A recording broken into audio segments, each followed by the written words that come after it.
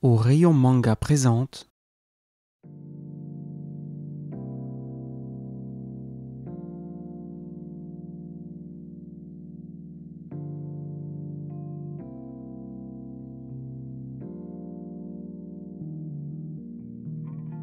Pour Sanpei est un manga en deux volumes, écrit et dessiné par Fumio Kono.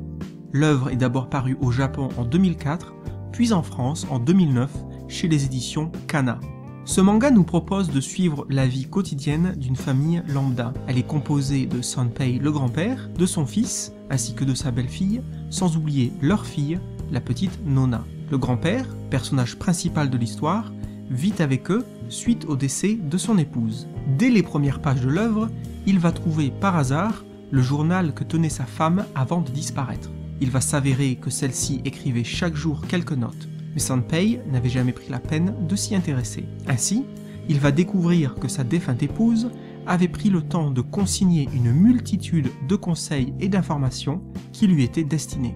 Un peu comme si elle savait qu'elle partirait la première et qu'elle voulait lui laisser une sorte de guide pour nombre de tâches quotidiennes telles que le ménage, la cuisine ou encore recoudre des vêtements. Mais au-delà de ça, elle lui a également laissé beaucoup de conseils sur la vie en général et comment interagir et s'occuper de ses enfants ainsi que de sa petite fille.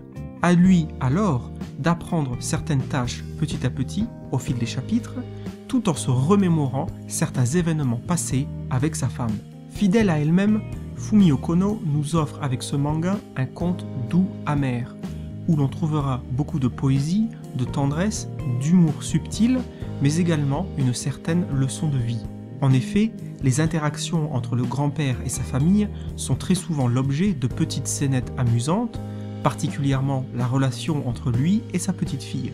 Le décalage qu'il semble y avoir entre lui et sa famille, notamment dû à l'âge, se comblera petit à petit grâce au journal laissé par sa femme. Mais au-delà du côté humoristique et de ces scènes de vie quotidienne, se dessine en filigrane un personnage plus complexe qu'il n'y paraît de prime abord. Ainsi, tel un fantôme bienveillant, ce journal va à la fois aider notre protagoniste, mais aussi, d'une certaine manière, l'ancrer et le retenir dans le passé. Se posera alors à lui un choix. Doit-il s'accrocher aux souvenirs ou doit-il faire le deuil de son épouse et aller de l'avant pour à nouveau pouvoir profiter de la vie? En conclusion, Pour Sanpei se présente comme un manga qui possède divers niveaux de lecture. Les plus jeunes y verront des scènes de vie quotidienne, très faciles d'accès et saupoudrées d'humour, tandis que les lecteurs un peu plus âgés y trouveront un regard bienveillant, posé et ouvert sur des questions telles que la transmission des valeurs familiales ou encore le deuil et son acceptation. Une œuvre qui se laisse lire sans aucune difficulté, sachant nous faire sourire et réfléchir. Que demander de plus?